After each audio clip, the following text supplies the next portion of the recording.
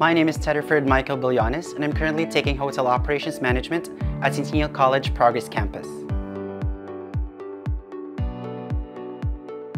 What inspires me to go into this field is my drive and passion towards customer service.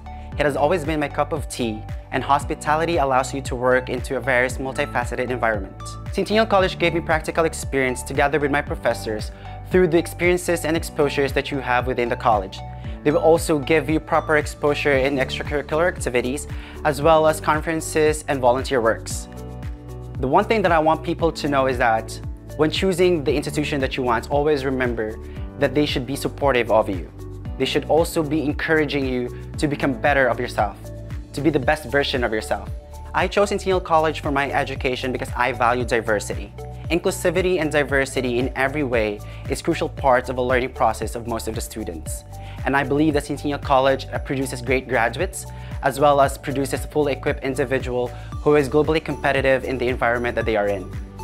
How has Centennial College helped me to become ready? I break it down for you through the word SET. S stands for standards. The standards of the institution is very high that allows the students to be prepared as soon as they graduate. E stands for exposure. The exposure and experience that they give you will have the benefit for you after you graduate in your future endeavors. And T, T stands for thrive. As you thrive, the college will always support you to become better and support you to the passion that you want into the field that you wanted to pursue after you graduate.